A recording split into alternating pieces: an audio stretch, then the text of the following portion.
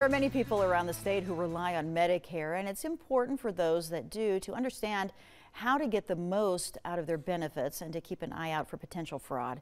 So joining us now with more on that today is Jonathan Burlinson. He is with Nebraska SHIP. He is the administrator. Thanks for being here today. Hey, thanks for having me, Taryn. Yeah, so maybe explain to us what Nebraska SHIP does and Nebraska SMP.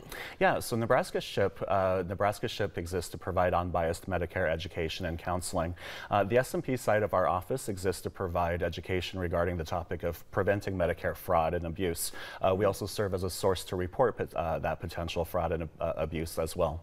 What kind of fraud or scams are we seeing right now? Yeah, so in Nebraska, what we have um, a lot of reports of are folks that uh, call in, uh, that are receiving phone calls from people who are claiming to be with Medicare. Um, these people are, are uh, claiming to be providing a new Medicare card. Um, the scam is taking the approach of being offered a plastic Medicare card, uh, which um, is uh, incorrect. The Medicare card is, in fact, still a paper card. Um, this is a, a scam that uh, kind of developed with the introduction of the new Medicare card back in 2018. Okay. Ever since then, uh, it's been kind of a scam people need to be aware of. How big of an impact does Medicare fraud have on folks today and on the state?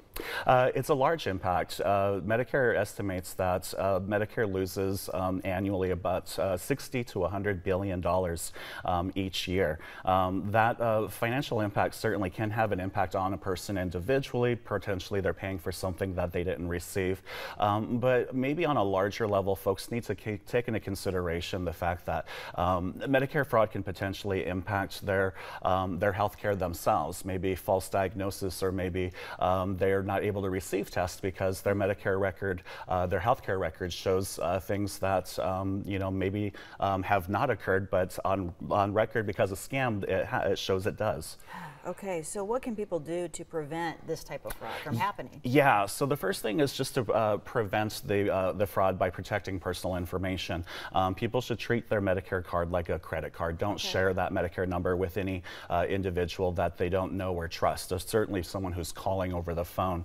Um, additionally, people can detect fraud by you know, keeping a healthcare journal or a record of uh, any kind of healthcare they received. If they went to the doctor's office, jot down the name, the doctor's name, uh, you know, just any services they received, if they were prescribed anything, and they can compare that to those reports that Medicare sends, a Medicare summary notice, uh, an explanation of benefits. Those come after Medicare has paid for services.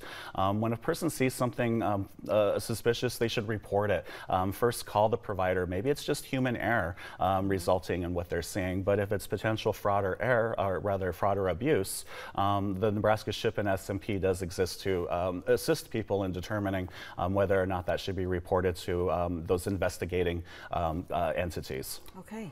So if people have questions about maybe what they heard today or if they just have questions in general, where can they go? Yeah, so the Nebraska SHIP, we do have a statewide hotline. That hotline is 1 800 uh, 234-7119. Um, we also have a website, doi.nebraska.gov slash ship. Um, okay. Definitely a wonderful resource to get some information about Medicare and how to prevent Medicare fraud. Okay, so that number again, Jonathan, just for folks to jot it down. Yeah, 1-800-234-7119. Okay, good information today. Thanks for coming. Hey, thanks, Taryn. Mm -hmm.